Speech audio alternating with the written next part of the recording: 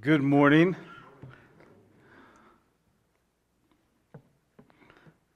invite you to take your Bibles and turn to Philippians chapter 4.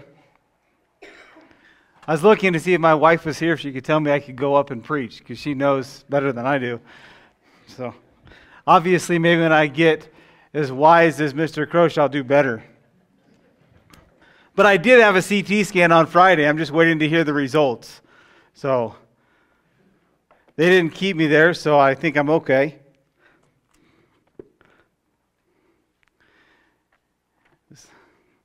Don't y'all love going to the doctor? Me neither. I, I had some fun on Tuesday. Um, so I, I ran out of my antibiotic for the infection, and I was like, I don't know what to do. And so I called an on call doctor on Saturday who was like, Well, uh, and you never want to hear that from a doctor, but he said, Well, I'll, order some more.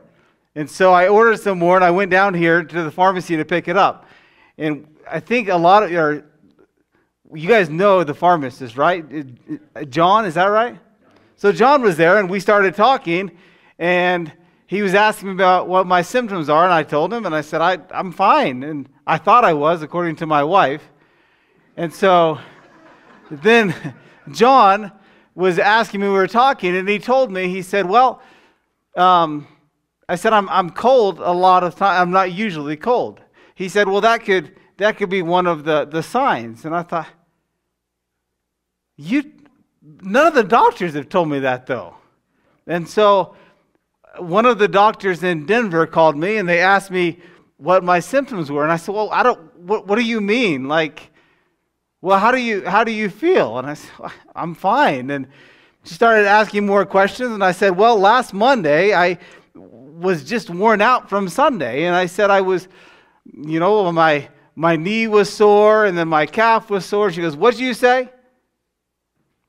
Because I said one of the, the trigger words, I guess, and I repeated it. And she goes, Okay, I'll, I'll call you back in just a minute. And so she called me back and she said, You need to be at Delta Hospital at 3:30. And I thought, okay, well, why? And uh, she said, Well, that's a sign of a blood clot. And so I get down there and so I saw the lady to do the ultrasound, and she was doing it. And well, the, when the doctor called me, she said, "Okay, the kind of test it is, they're going to do the ultrasound. I'll get the results immediately, and then I'll call you, you know, today, right after, immediately to let you know." I thought, "Okay, well, that's fine." And so I was in there, and she was doing the ultrasound, and everything was I, fine. I thought, and she. Uh, I kind of told her what the doctor said, and she goes, okay. And she goes, well, if you have a blood clot, I won't let you leave the hospital until I talk to a doctor. Okay. So she got done, and she let me go home. So I thought, oh, I'll be fine. So I get home, and I'm waiting for the doctor to call me. And it was like 4, 4.10 maybe. So I waited, five, six, seven, never called me. I thought, huh, interesting. So I waited all day Wednesday, never got a call. Waited all day Thursday. Thought, well, maybe I should call. So I called, and then they called me back later. And she goes, Oh, well, I texted the, the tech, and she was supposed to tell you that you're fine. so, so I don't, you know, so I had no blood clots, praise God. I trust the CTs will come back good and will come back great. I was in there, the, the CT tech, though, he knows me. He's like, why are you in here again? I said, I don't know. And he's like, Well, why are you so so happy? I said, What's it going to do if I complain about it?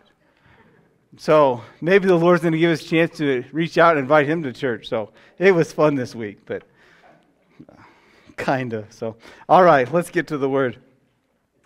Philippians chapter 4, we're going to look primarily at verses 6 and 7, but let's read from verse 1 for the sake of context. Verse 1 says, Therefore, my beloved brethren, whom I long to see, my joy and my crown, in this way stand firm in the Lord, my beloved. I urge Euodia and I urge Syntyche to live in harmony in the Lord. Indeed, true companion, I ask you also to help these women who have shared my struggle in the cause of the gospel, together with Clement also and the rest of my fellow workers, whose names are in the book of life. Rejoice in the Lord always. Again, I will say, rejoice. Let your gentle spirit be known to all men. The Lord is near.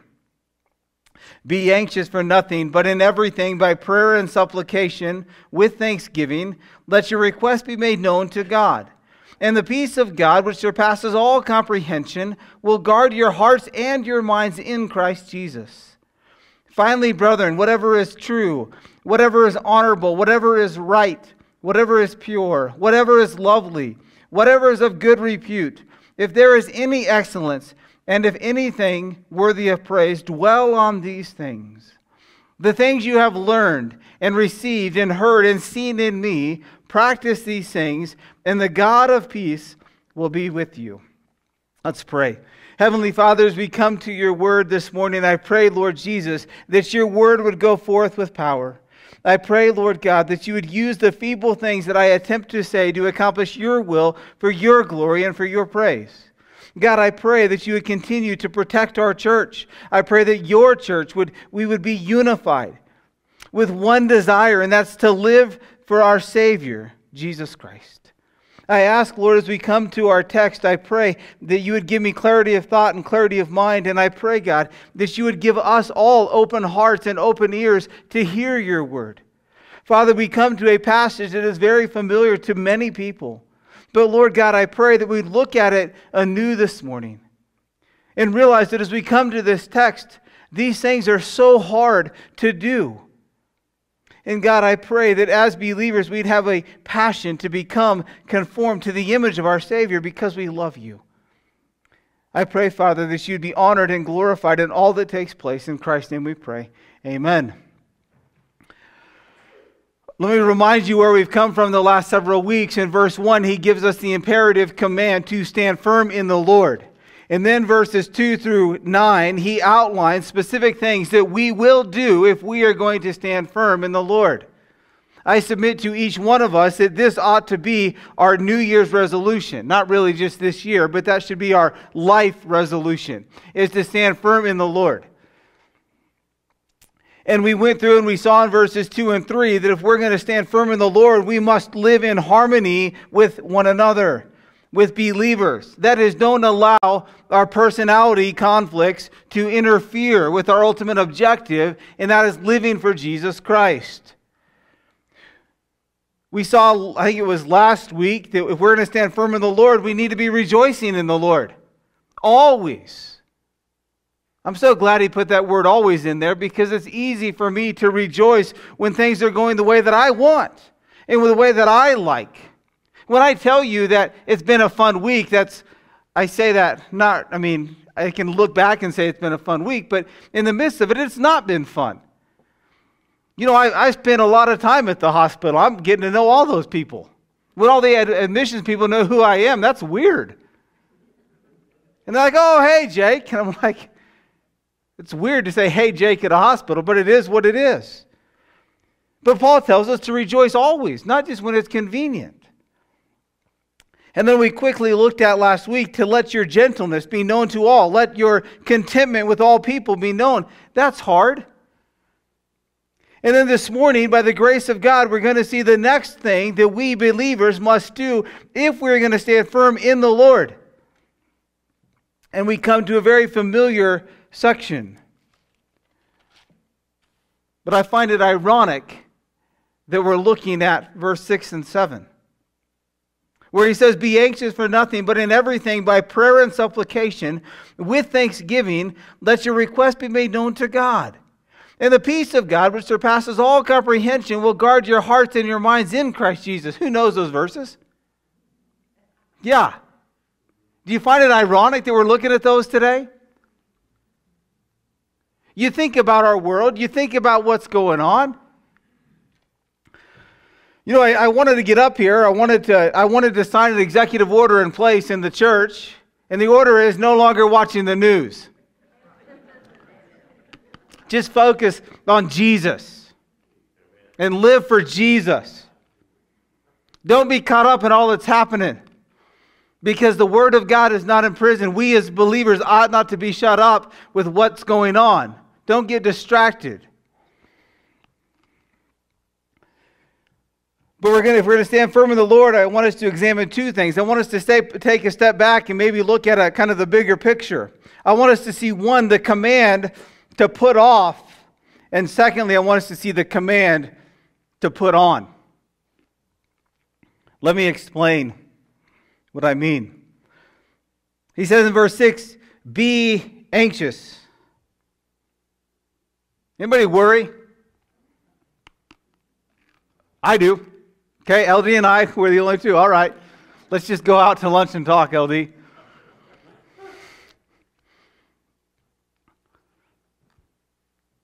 Worry is it's easy to worry, isn't it? 2008, I finished my training in the Excel internship. The Excel internship is a two year internship program where it trains people or men in excellence in leadership. It's an intense program where you go through and you work, the first year, you work right alongside the pastor.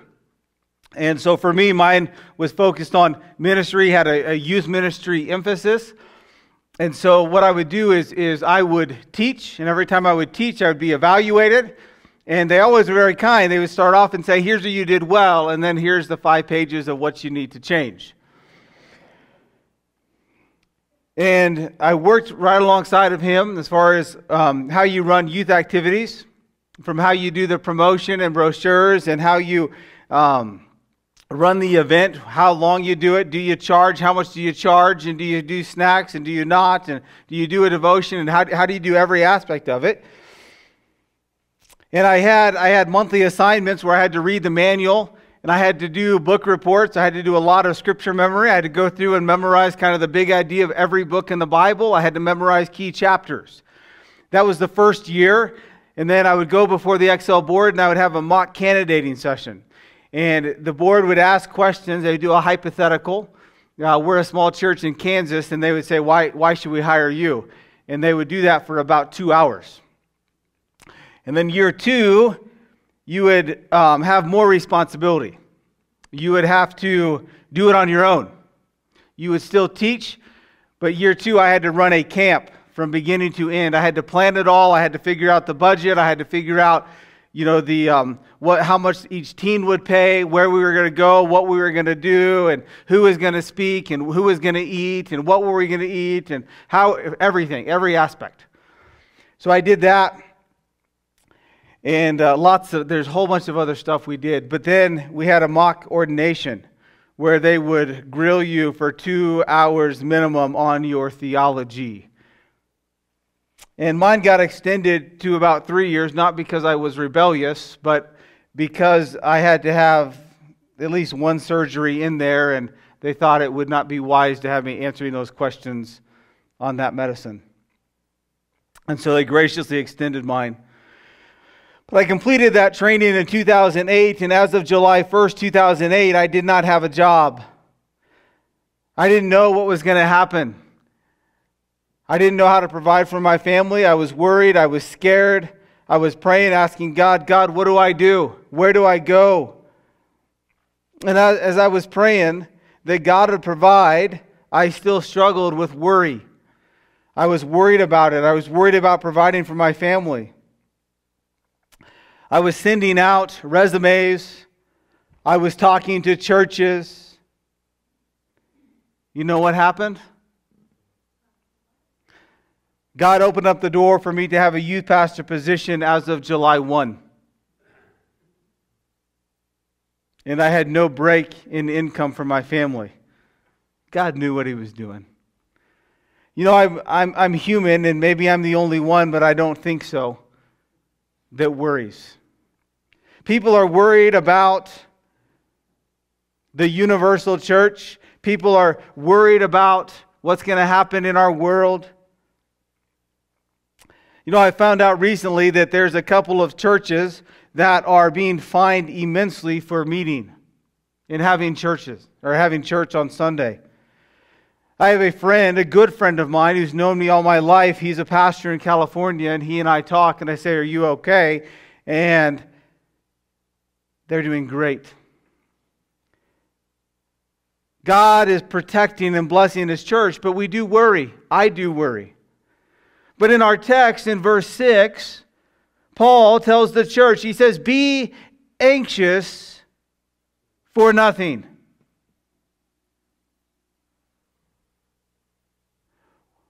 Well, what is, what is anxiousness? Worry.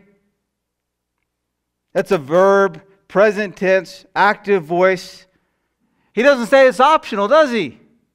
But you go back to verse 1, and, and, and Paul says, he told the church, he says at the end, in this way, stand firm in the Lord, my beloved. If you and I are going to stand firm in the Lord in the midst of a world that is falling apart, a country that seems to be going the wrong direction, when churches are having a challenging time to stand up and not be ashamed of the gospel of Christ, if we are going to stand firm, then we need to not worry about the future.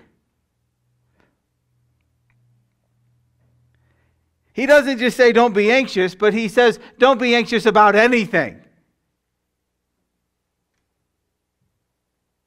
Paul tells the church at Philippi that if you are going to stand firm in the Lord, then you must not worry about anything.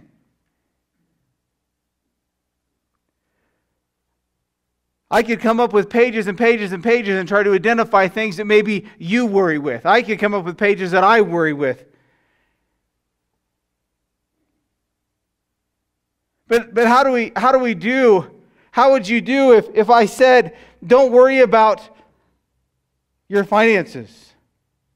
Don't worry about our country. Don't worry about your health. Don't worry about your grandkids.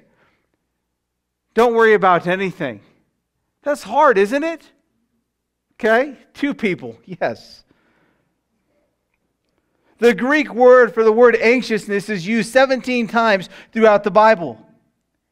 And the reason I, we're not going to look at all of them, but I want to, to tell you that because I want you to realize that this is important, isn't it?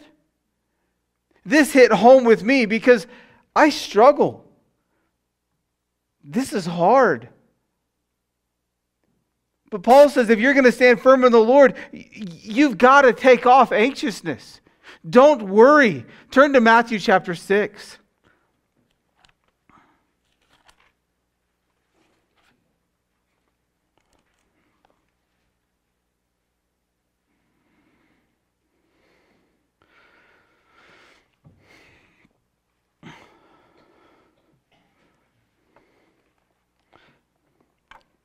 In verse 25,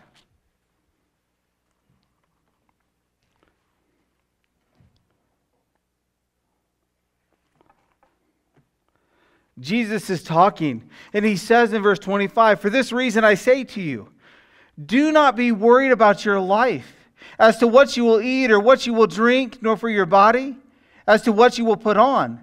Is not life more than food, and the body more than clothing?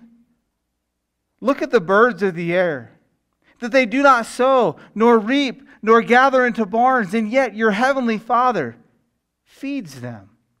Are you not worth much more than they? And who of you, by being worried, can add a single hour to his life? And why are you worried about clothing? Observe how the lilies of the field grow. They do not toil, nor do they spin. Yet I say to you, then not even Solomon in all his glory clothed himself like one of these. But if God so clothes the grass of the field, which is alive today and tomorrow is thrown into the furnace, will he not much more clothe you, you of little faith? Do not worry then, saying, What will we eat, or what will we drink, or what will we wear for clothing? For the Gentiles eagerly seek all these things, for your heavenly Father knows that you need all these things. But seek first his kingdom and his righteousness, and all these things will be added to you. So do not worry about tomorrow, for tomorrow will care for itself. Each day has enough trouble of its own.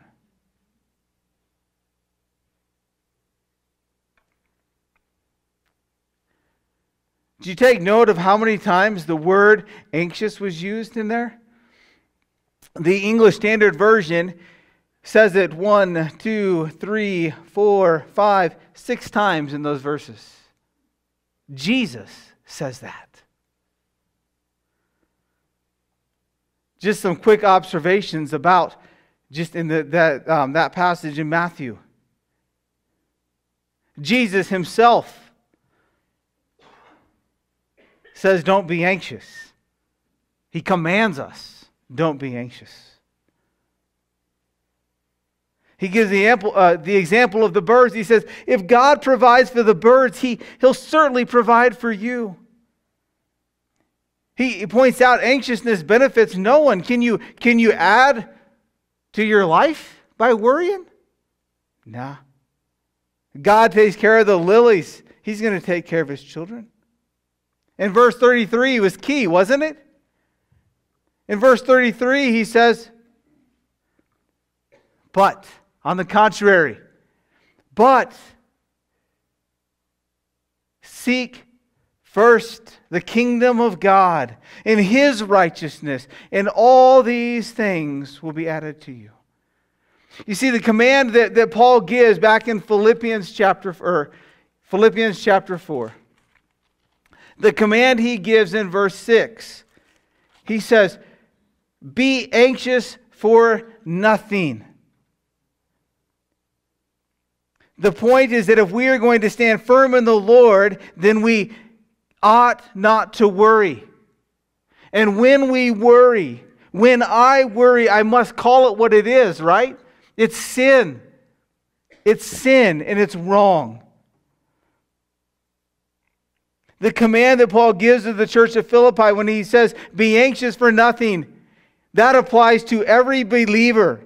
If you and I are going to stand firm in the Lord, we must lay aside, we must get rid of our anxiousness. Certainly, this is not an easy thing to do. You know, maybe we struggle a little bit with the issue of anxiousness, but do you know anybody who struggles immensely with worry? It's really, really hard. This is not an easy thing to do. You can't just say, stop worrying. Oh, okay. Doesn't work like that, does it? No. Look at, look at what he says. I, I love it. Paul says, Be anxious for nothing. And then he says, Here's what you need to do. But in everything, by prayer and supplication, with thanksgiving, let your request be made known to God. So now here's the command to what you need to do. So don't do this. Get rid of the anxiousness, get rid of the worry, get rid of the not trusting me. He says, now here's what you got to do. But in everything by prayer. Okay, we got to hold on there for a second. So when he says, but in everything by prayer, the idea is this is an attitude of prayer. The word but is a, is a matter of, of certainty. This is a conjunction, a logical contrast. He says, be anxious for nothing, but in everything by prayer. Prayer is the uh, to pray earnestly really has the idea of a, a place of prayer, right? So you got to take off anxiousness, so get rid of it. Now you got to have the attitude of, okay, instead of, instead of worrying about my family, my finances, my country, my world, my church, I'm going to go to my place of prayer and then we're going to get to what you're going to do in your place of prayer. But you got to have this attitude of prayer. If you notice the context of the verse, you'll see how we are told to put off the attitude of worry. Okay, get rid of it. Now Paul changes gears and he tells the church to put on the attitude of prayer. The, the term prayer is used here refers specifically to developing this attitude. This makes sense, doesn't it? If we just think about life, it doesn't just work to, to take something off. You got to then replace it with something. And what, what Paul is saying is get rid of the, the, the uh, sin of worry and now have the attitude of prayer. When we as believers begin to worry, when I, get to, when I begin to get concerned, when I see what's happening in the world, I need to stop and have my attitude of, I'm going to go and I'm going to take it to my God. We got to replace it with an attitude of prayer. We must have the mindset that when I start to worry, I'm going to stop and replace the worrying attitude with a prayerful attitude.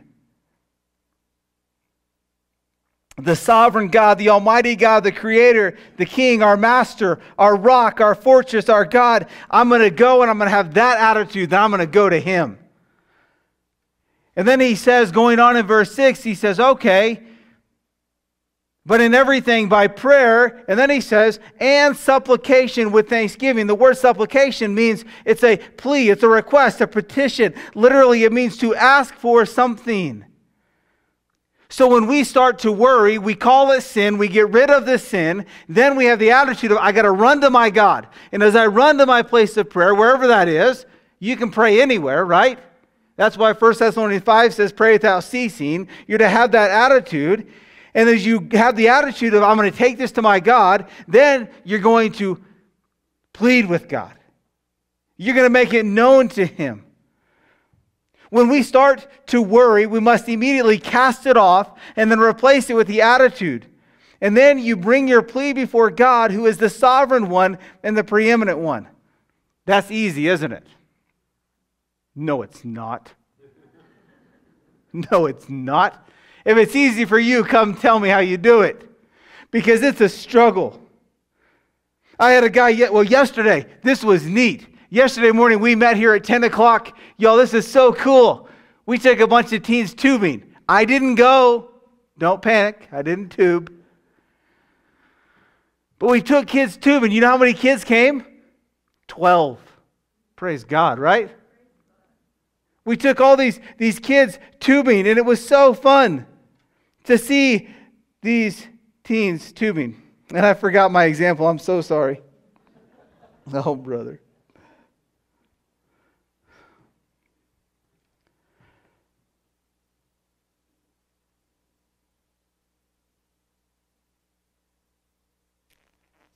Paul says in, in verse 6, he says, But in everything by prayer and supplication, and I love what he then says, with thanksgiving, let your request be made known to God. Y'all, I'm not a very good pastor. I'm in my office and I have people call me. And I had one individual call me this week and we came and met and talked with me, and, and it was asking me questions, tears in his eyes, tears coming down their eyes, and, and I was, God, give me wisdom. And as I hear people pour out their hearts to me, and they, they say things, and you hear things like this. Somebody in my family has what they call suicide headaches. So, why are they called suicide headaches? Because they, they said that it's called that because it hurts so bad, most people kill themselves. They tell me that one of my siblings has cancer. And then they tell me my other sibling's in the hospital. And the one in the hospital just told me, or just told one of the other siblings, that I want to die. What am I supposed to say? Here's what I know. When I'm in that situation and I want to panic and worry, you know what I know that I got to do? I got to get the attitude of prayer. I know what we need to do. We need to go and get on our knees and pray to our God and beg our God to work in the situation for His glory. And guess what we did? We picked up a phone and we called the hospital. We, I, I asked for the, the person, the individual, the room number, and guess what? They picked up the phone. My jaw hit the ground. Uh, uh, uh, uh, and I gave the phone to the individual. And we prayed and we read scripture. And so when we start to worry, when I start to worry, we've got to go to pray. We got to go to God and ask God to help us to do what is right. But I love what he says, where he says, Do it. Why does he say this? I've been asking myself this. Why does Paul say, with thanksgiving?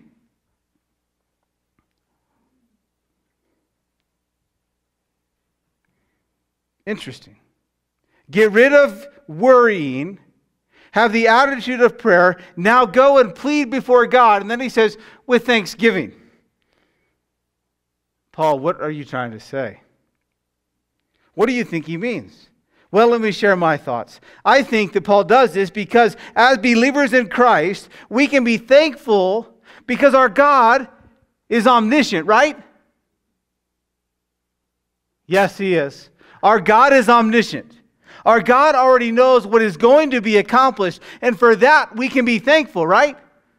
God knows what's going to happen in our church. God knows what's going to happen in our country. God knows the days that I have to live. God knows the days you have to live. So when we can go, the Bible says, Come before the throne of grace, let your request be made known to Him. He wants us to talk to Him. And that's what we get to do. And we can have an attitude of thankfulness because God's will is going to be accomplished, whatever it is. We just need to pray that we'll be found faithful, no matter what happens.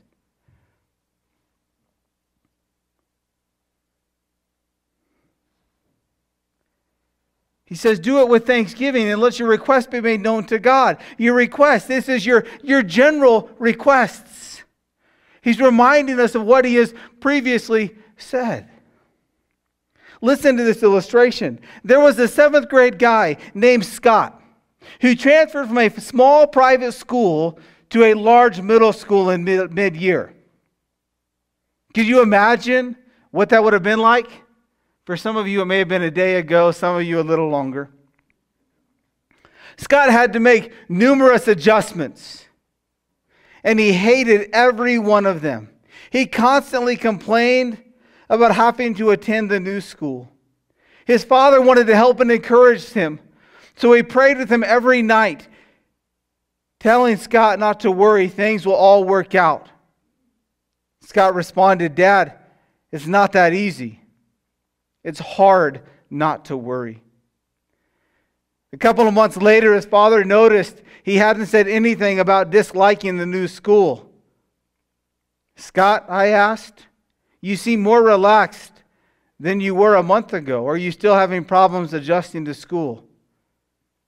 Scott answered, Yes, I am. But I quit worrying about it. I found out that worrying was harder on me than actually going through it.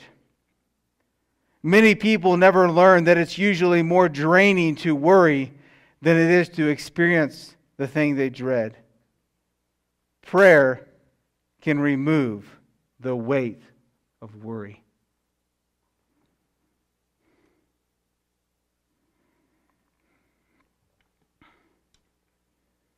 Verse 7.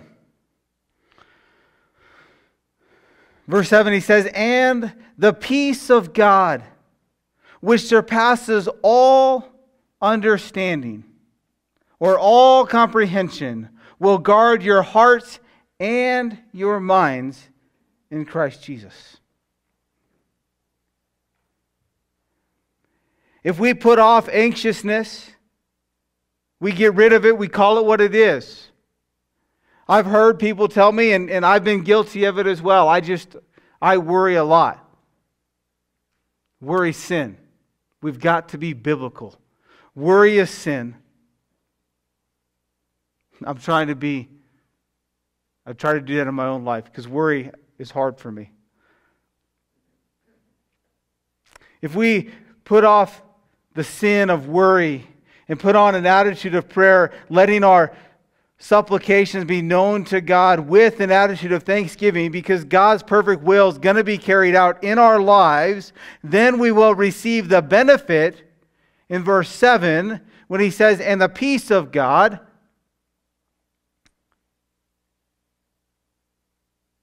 The benefit is really the freedom from worry. The idea of peace, that is the freedom from worry. This is the benefit. Does worry make you tired? Okay? Worry makes me tired.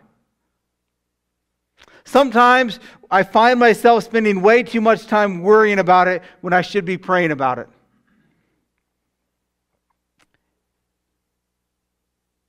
And as we do these things, if we get rid of worry and we pray and take it to the King of Kings and Lord of Lords, then we have the freedom from worry because God's going to accomplish His perfect will. We just get to play a part in it.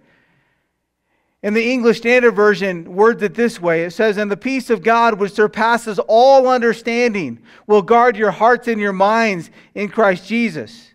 He says, the peace of God, that is the freedom from worry. He says, it surpasses all. It surpasses in value. It's great when we're not worrying, isn't it? It doesn't mean we just go along carelessly, but it's great knowing that our God's got it. Our God's in control, and we talk to our God about it. Those are great things. It surpasses all understanding, all comprehension, the way of thinking. And then it says it's going to guard your heart and your mind in Christ Jesus. It's going to guard, it's going to protect you.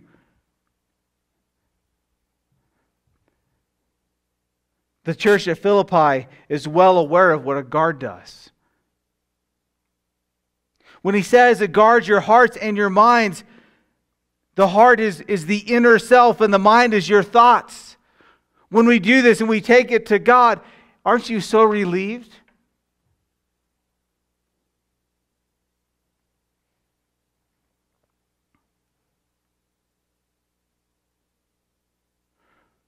Remember our illustration about Scott, right? Our illustration, he changed schools from a small school to a big school, and it was really hard and difficult for him. But the end result that Scott came to was what? Prayer can remove the weight of worry.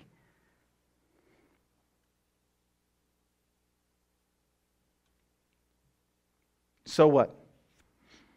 Y'all are thinking he's going to 1145. I'm not. I knew that. Y'all are like, what already? Don't get used to it. What about you? What about me? So what? Anybody worry? Anybody struggle with worry? Okay, a couple more. LD, there's a couple with us. All right. Remember, brothers and sisters, if we are going to stand firm in the Lord, we got to guard against worry. It is hard. We got to call worry what it is. It's sin. We've got to replace it with an attitude of prayer, letting our plea, our request be made known to God with thankfulness because God's plan can't be thwarted. God's going to accomplish His perfect will. We're just passing through. Our God is in complete control.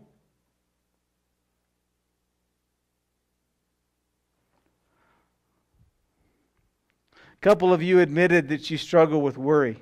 I'm in there as well. If you're here and you say, Yeah, Jake, I do worry, I would ask you, About what? Don't tell me. About what? I jotted down a couple things that we might worry about our country, our church, our president, the politicians, our family's health, our grandkids, our kids, our town, what's happening in our town. And the list goes on and on and on. I'll spare you the lengthy potential list. But if you're here and you say, you know what, I do worry, I would ask you, what steps are you going to take to get rid of worry or to deal with worry? Because it's, it's a real struggle. But I pray that you will be biblical as I'm trying to be biblical because I used to just say all the time, well, I'm just a worry wart. And I'm trying to be biblical. Worry is sin. And I'm trying to deal with it the way that God wants me to. And if you are there, we got to figure out how to take it off and take it to God and do it with thankfulness that His plan cannot be thwarted. And if you're here and you don't know Christ, you'll know. John 14, 6, Jesus says, I am the way, the truth, the life. No one comes to the Father except through me. There's no other name under heaven by which men must be saved. Salvation is by grace alone, through faith alone, in Christ alone. And we have a big sin problem.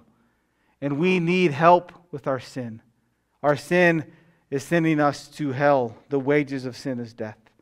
But the free gift of God is eternal life in Christ Jesus our Lord. If you don't know Christ or unsure about your salvation, talk to me. Talk to somebody around you. Let us pray for you. Let us love you and encourage you. And if you're a believer, let us be faithful to deal with what we need to do to stand firm. Be careful against worry. If you do worry, talk to someone around you or talk to me. I'll, man, I'll be your friend. Work through it together because I do struggle with worry. I'll be honest. And let us hold each other accountable as we seek to overcome and lay aside our worry and take it to Jesus. Let's pray together. Heavenly Father, I'm so thankful that you are a God that's in control. Father, I'm so thankful that you're a God that is patient with me.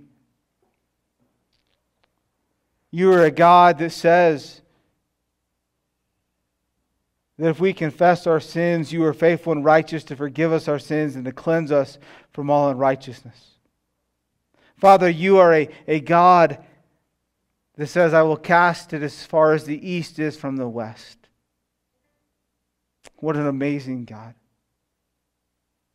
Father, I know for myself at times I do struggle. I do worry about what's happening in the world and what's happening in the church and what's happening in my life and our children and my children. And God, I pray that you'd forgive me. And Father, I pray for each one who knows Christ, myself included, would be faithful when we struggle with worry. We confess it as sin. And then, Lord Jesus, we run to the throne of grace to talk to you, our God, our Maker, our Lord, and our Master.